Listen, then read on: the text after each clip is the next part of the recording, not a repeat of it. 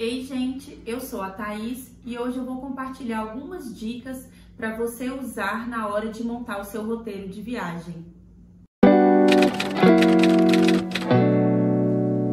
Hoje, em 2023, existem várias formas de nós montarmos um roteiro de viagens. Eu sempre gosto de pesquisar no YouTube, no Instagram, nos blogs de viagem, mas para otimizar o seu tempo, eu vou dar duas dicas de ouro.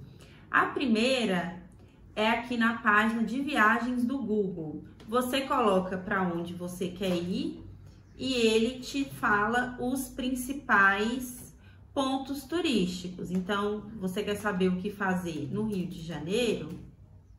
Você coloca cidade no Rio de Janeiro e ele vai mostrar aqui os principais pontos turísticos, já coloca um mapa aí na lateral para você ver. Então ele diz, olha, as principais atrações por lá são Cristo Redentor, Maracanã, Museu da Manhã, o Parque Nacional da Tijuca, o Parque Laje, que é lindo, Jardim Botânico do Rio de Janeiro, Pão de Açúcar, a Escadaria do Celarão, a Praia de Copacabana, dentre outros. Você vai descendo e vai aparecendo mais pontos turísticos e eles podem ser organizados de acordo com seu interesse. Se você quer alguma coisa no meio da natureza, se você quer museu e etc.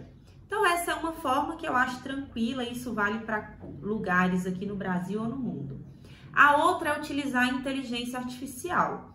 Então, você pode entrar aqui no site do Chat GPT, por exemplo, que é o chat.openai.com, e aqui você coloca a sua informação. Então, você precisa dar o comando completo.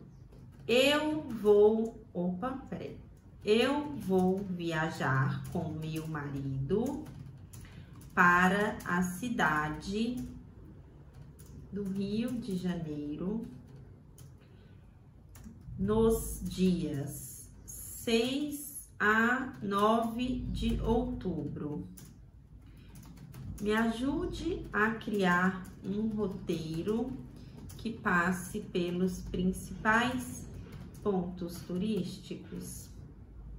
Turísticos.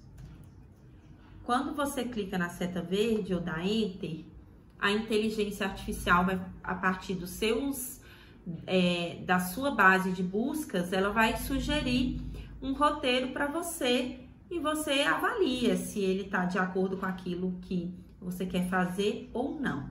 Ele já está quase terminando de gerar e eu vou subir um pouquinho para você ver a resposta completa. Então ele me disse: "Claro, o Rio de Janeiro é uma cidade incrível com muitos pontos turísticos maravilhosos para explorar. Aqui está um roteiro sugerido para sua viagem de quatro dias. Então, primeiro dia ele sugeriu chegada e praia de Copacabana. Faça o check-in no hotel, vá na praia, passe a tarde relaxando na praia, com a vista do Pão de Açúcar, visite o Cristo Redentor e Santa Teresa, Vá ao Pão de Açúcar e ao Centro Histórico do Rio, conheça o Museu Histórico Nacional, o Teatro Municipal, enfim, várias sugestões. Então, essas são dicas práticas e rápidas que você pode usar no seu dia a dia, caso você não tenha uma agência específica, uma pessoa que possa te ajudar a montar o seu roteiro e muito menos tenha tempo para ver tantos vídeos no YouTube ou no Instagram.